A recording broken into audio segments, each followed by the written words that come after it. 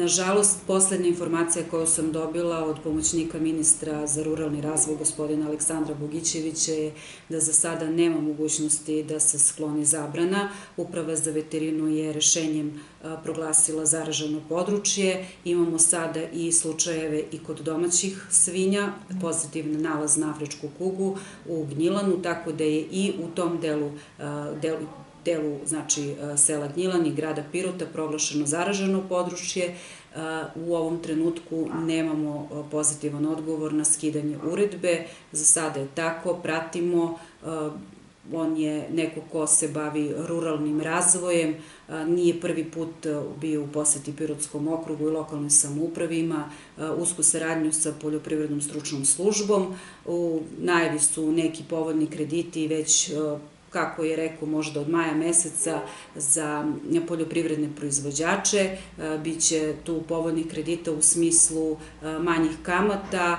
opredeljeni i za e, poljoprivredne mašine, za mehanizaciju, za zasade, ali će to pozivi već biti i medijski i preko vas, a i preko poljoprivredne stručne službe. Oni će biti ta veza između ministarstva i gazdinstava.